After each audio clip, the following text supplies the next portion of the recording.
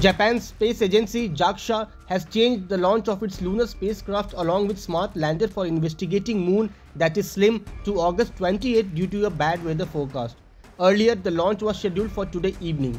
JAXA has also reserved August 29 for the launch if the weather continues to be unfavorable for the launch. The launch of this lunar mission has already been postponed twice due to the bad weather. JAXA's H2A, the agency's most reliable rocket, with just one failure out of 42 launches since 2001 will be carrying the small lander for investigating moon or SLIM.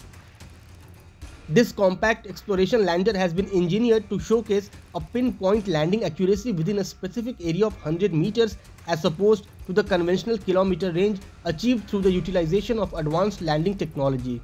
This remarkable precision has earned the mission its moniker Moon Sniper.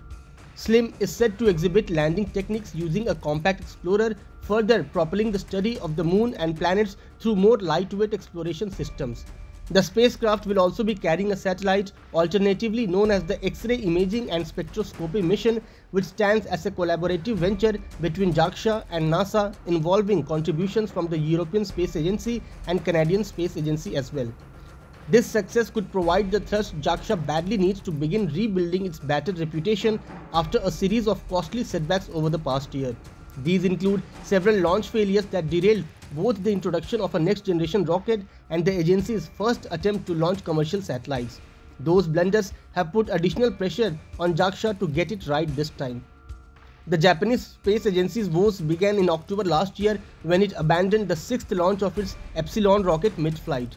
The rocket was carrying two satellites from JAXA's first commercial contracts as part of an attempt to meet growing demand in the private sector.